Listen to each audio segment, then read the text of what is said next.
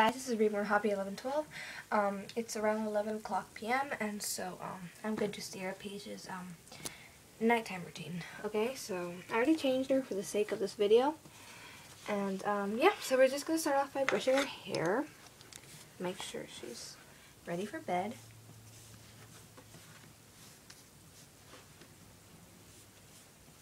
And then after we're done, we are gonna feed her. Um, okay.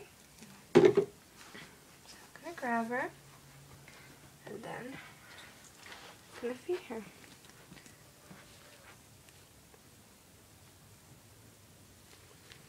After like usually I feed her for like 5 to 10 minutes, but right now I'm just gonna feed her for a couple seconds for the sake of this video.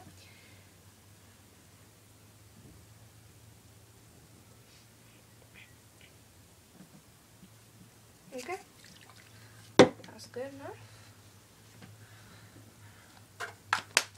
For that, I'm going to put her pink pinky on.